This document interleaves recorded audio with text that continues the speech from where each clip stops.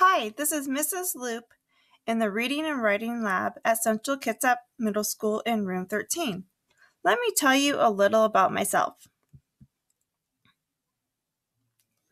My name is Laura Barker Loup, but I go by Mrs. Loup in the classroom.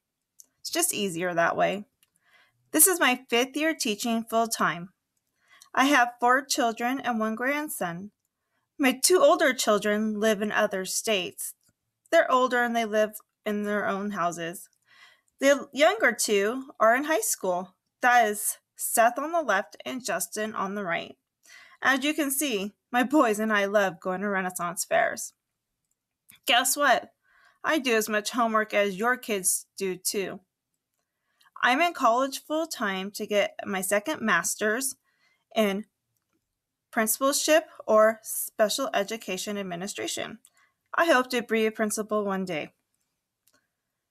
And hopefully, hopefully not too far in the future. Let's see more about me. I love to bowl, though I'm not very good at it. I love to bake. I bake every weekend, and I love watching the Seahawks. Go Hawks! A little bit more about me. I graduated from Ashford University with a master's in education and a minor in special education.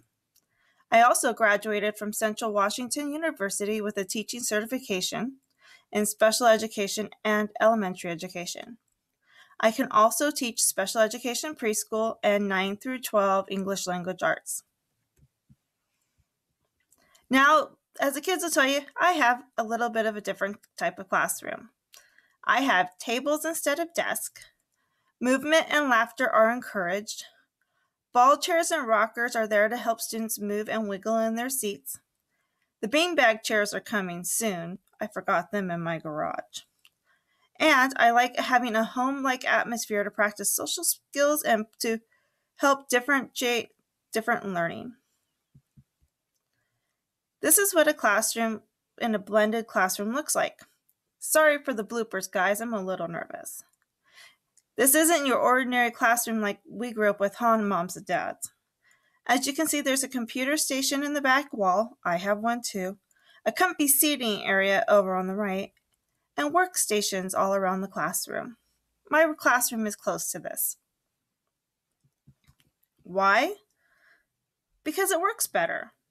And I can level the kids' learning in different ways by having them in small groups. How do we do this? Well, let's start. We start with whole group instruction first, and then we break off into small learning groups, which we rotate about every 15 to 20 minutes.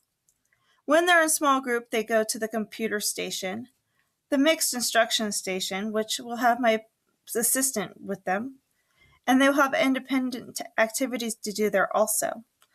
They'll see me in a teacher led instruction area, and they'll do some independent reading. These will be mixed up depending on the day and what order they go in. Now, like I said, I don't have ordinary chairs. I have ball chairs, glider rockers, and stools, and the floor if you want to count that one. We even have yoga mats for the kids to lay on. Now, your kids are going to tell you a lot about their self assessing. Yep, they are.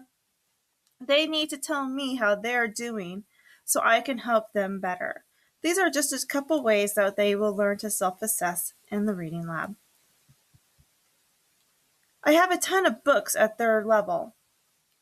I have books from Alexia of 2 all the way up through seventh grade. So, second through seventh grade reading in my classroom. We also have books that are specific from the reading program that they may be using. They're listed on the right. All in all, reading is reading and you can't go wrong. Now, about homework. I don't assign homework. I really don't believe in it. I have promised your students, if they work hard for me during the day, I won't give them homework. However, if they don't finish what they're doing in class, which is rare, they need to take it home to finish. Really, the best homework is to read with your student. Read to them, have them read to you, or to a different family member. Even have them read to a family pet, just like we do at our house to our dog, Captain Jack Sparrow the Schnauzer. Now, I told your student if they came back on Friday the 14th and gave me a code word, that they would get a treat. Well, the code word is Lexile, and they will be learning just with, along with you what a Lexile is in the coming year. It's their reading level and how we can help them determine what is the best book for them and their reading level. I know it sounds a little complicated right now, but we'll learn together and they'll help you learn too. Thank you so much for coming. If you need to get a hold of me, you can get a hold of me at lauraba at ckschools.org or call the office and they'll give you my voicemail. Have the most wonderful days and a wonderful school year.